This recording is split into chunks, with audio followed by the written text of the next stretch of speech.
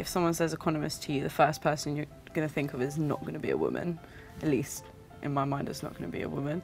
And it's probably going to be a boring old man sitting there crunching his numbers.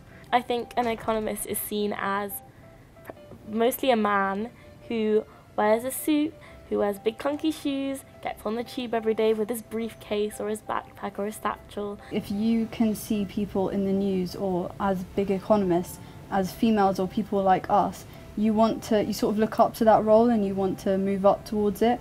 But instead, I see middle class white men who have been lucky and privileged their whole lives to get this opportunity. And I feel like breaking the stereotypes and bringing like people who are of different ethnicities and of different class who are able to do economics and they can.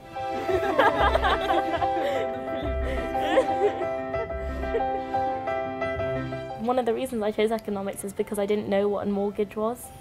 Um, so I think it gives you confidence to then be able to use it in your future life and realize I'm so glad I took that because now I know what I'm talking about. And it literally just governs the way the world works and I think people really underappreciate economics for the role that it plays within our society.